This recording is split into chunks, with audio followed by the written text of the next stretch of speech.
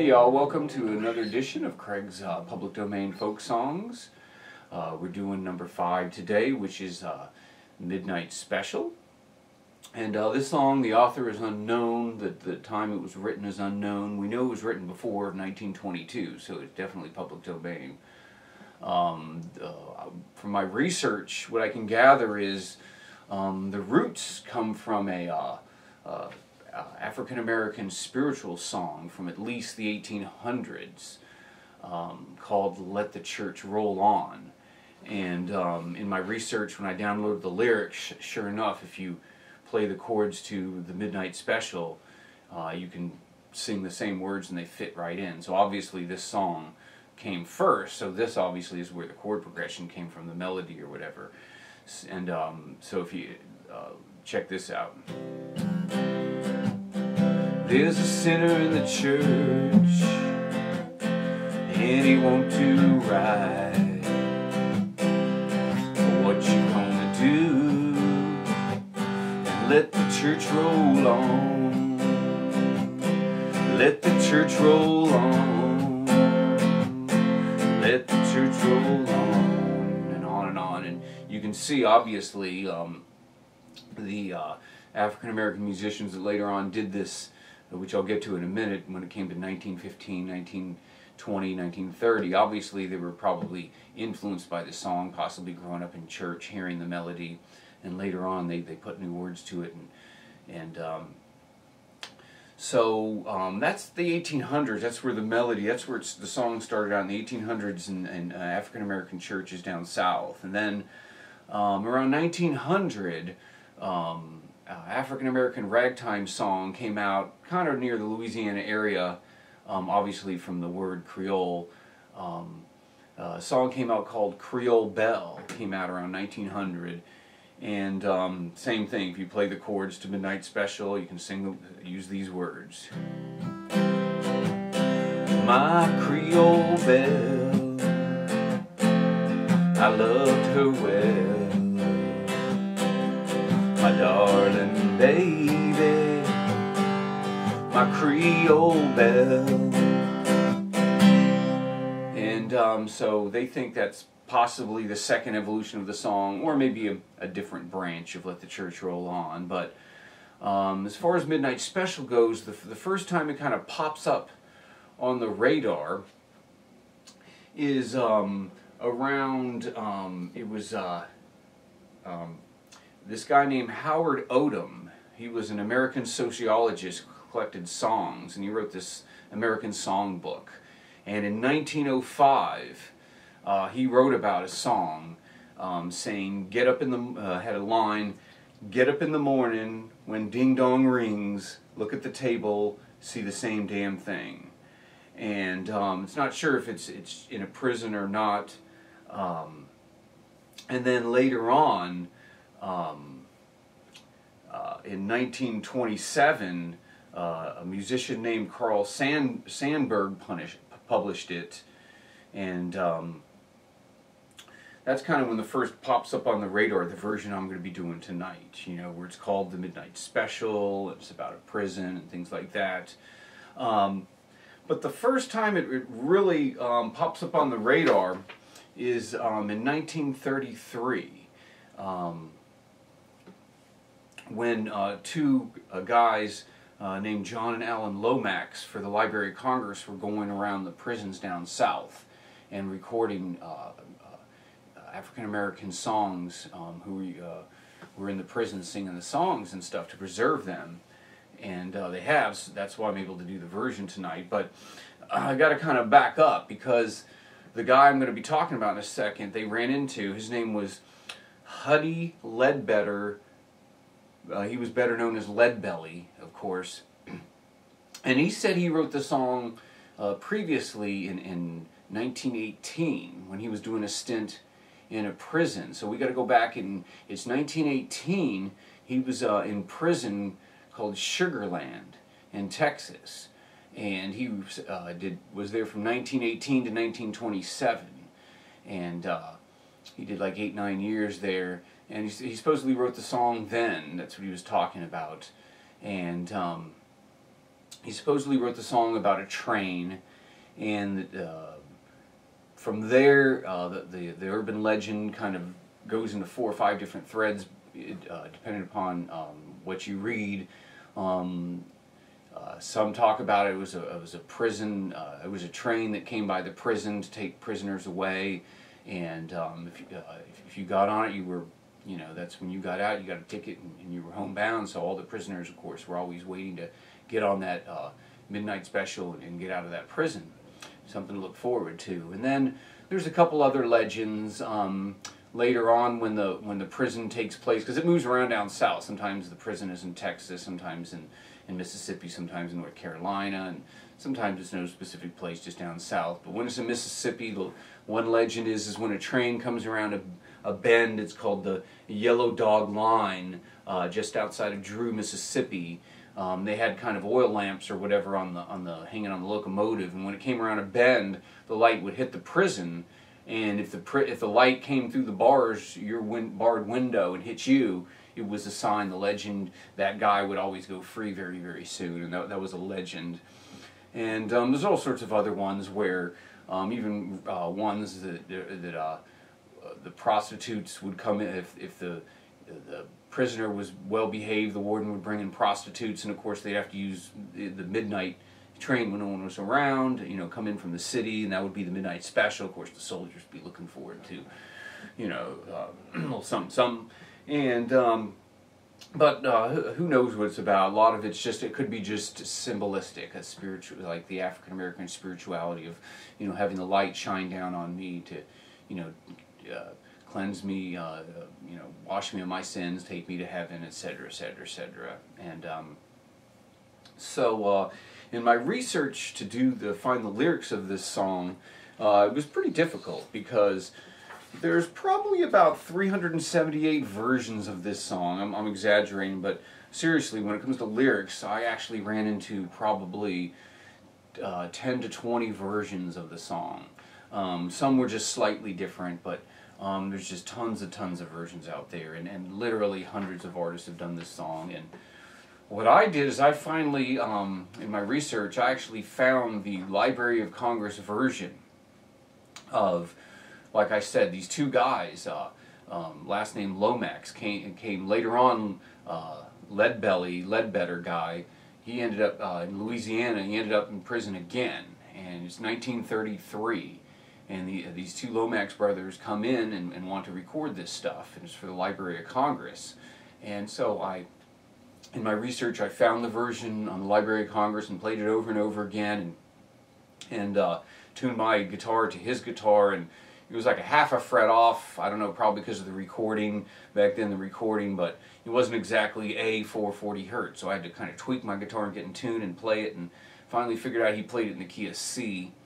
And um, he, he played it for these guys, and um, I don't know if it's the, the, the, the, original version he used to play back in 1915. I mean, this is, this is 15, 18 years later, so he may have forgotten what the lyrics. I know if I do one of my songs 18 years later, the lyrics are definitely different, you know. I'll never remember what the lyrics were 15 years ago, so...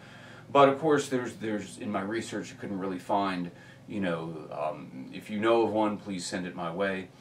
And um, you can go to mudcat.org, by the way, if you want to discuss old folk music and, and early variations, called mudcat.org, M-U-D-C-A-T.org,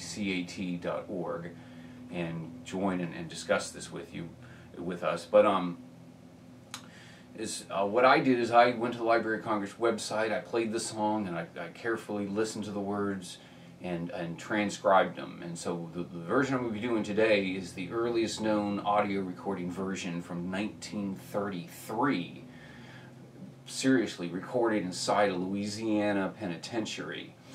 And um, and I'm going to play it in the same kind of strumming style as he played, the same timing, the same key, and everything like that. So we're going to I'm going to try to play this as you know.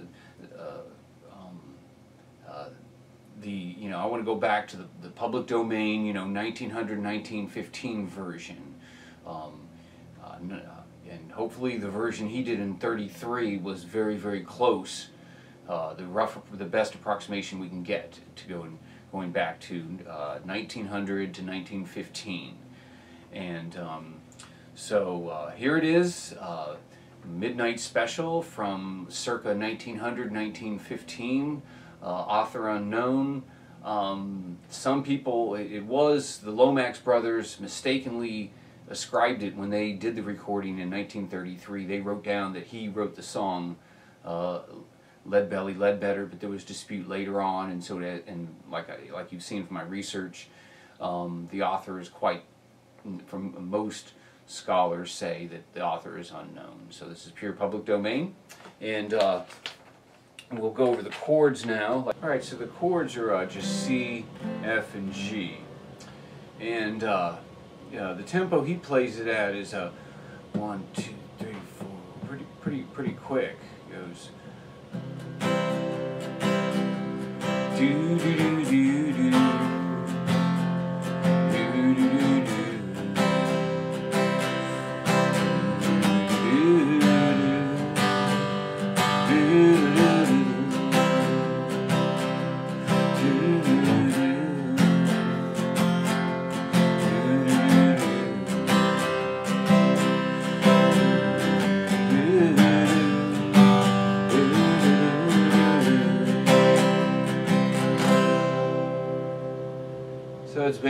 chord progression. Um, takes you. you can go ahead and rewind it back and just, you know, go through that through a couple times to get it. That's that's basically what the uh, chord progression is going to be. So um, I'll have the uh, lyrics and chords uh, down below me in the, in the comment section. So go ahead and uh, you can uh, copy and paste it and, and print it out and put it on a piece of paper and put it in front of you while you jam out. And so, without further ado, here it is Midnight Special, um, written uh, somewhere circa 1890 to 1910. Uh, author unknown, um, but most people uh, attribute it to Huddie William Ledbetter, known as Leadbelly, from 1915.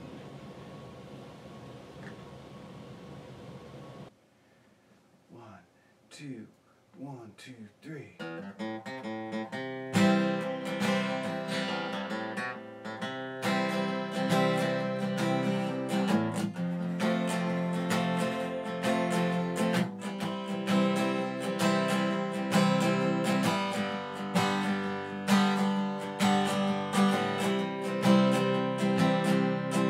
Yonder comes Miss Rosie. How in the world do you know? Well, I know by apron and the dress she wore, umbrella upon her shoulder, a piece of paper in her hand. I'm gonna ask the governor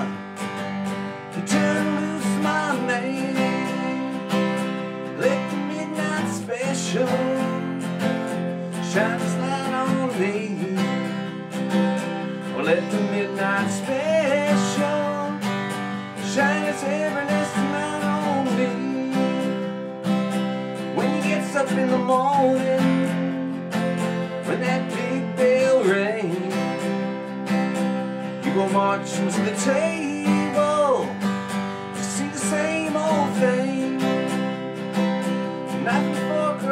table, and nothing in my hand. Never said a thing about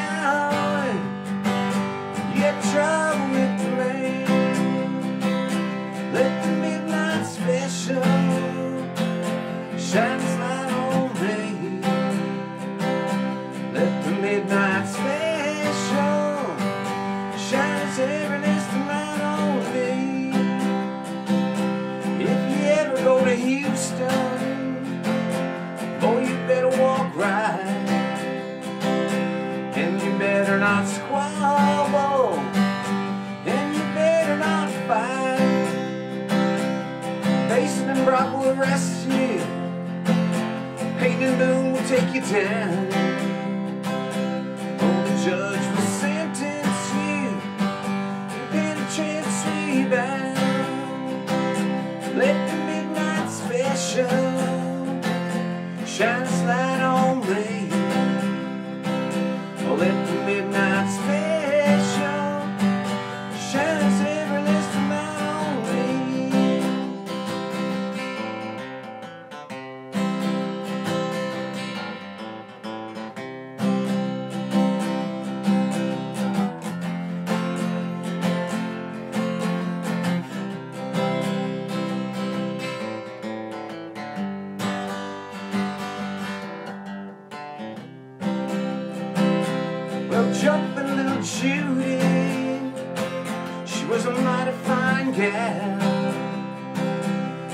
She brought